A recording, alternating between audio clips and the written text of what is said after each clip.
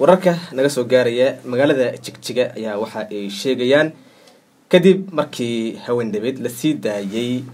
dhacdo argagax leh oo laga soo tabiyey magaaladaasi kadib markii geela loola kacay tacadiye aada u waaweyn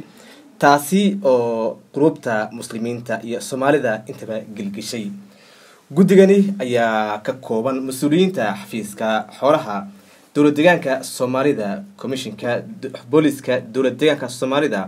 golaha sare ee arrimaha islaamka iyo maamulka magaalada jigjiga. Wasiirka xafiiska xoolaha dowlad deegaanka soomaalida mudane dayib axmed nuur ayaa sheegay in guddigani ay ka wada shaqeyn doonaan sidii xal kama dambays ah looga gaari lahaa. Dhacdadii argagaxa laheyd ee lagula kacay xoolaha gaar ahaan geela. Ilaa iyo intaa xal laga helayana la go'aamiyey in haba yaraatee xaruntani aan wax howlo ah aan lagu gowricin komishineerka booliska dowlad deegaanka soomaalida genaraal maxamed cali xasan ayaa sheegay in ay gacanta ay ku dhigeen saddex iyo toban ka mid ah raggii falka wuxuushnimada ah u geystay geela. Lagu qalayay xarunta gowraca ee magaalada jigjiga. Welina ay ku daba joogaan saddex ka mid ah xubnahaasi oo aan gacanta lagu haynin. Sheekh axmed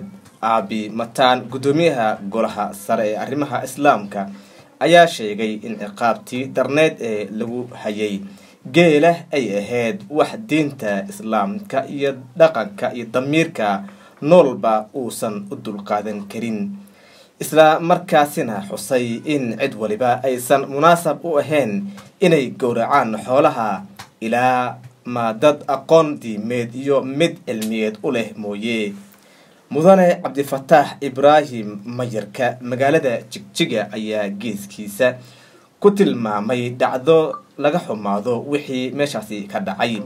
Isaga oo sheegay in shakhsiyaadkii tacadiyada xoolaha u geystay aynan ahayn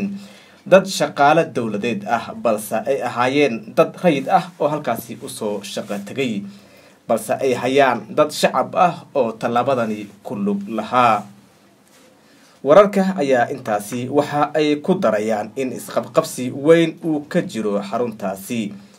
Dhanka dowladda ayaa tallaabadani qaaday iyada oo la filayo in tillaabadani tii ugu darneyd la qaadi doono maadaama la xiray xaruntii xoolaha lagu gumaadayey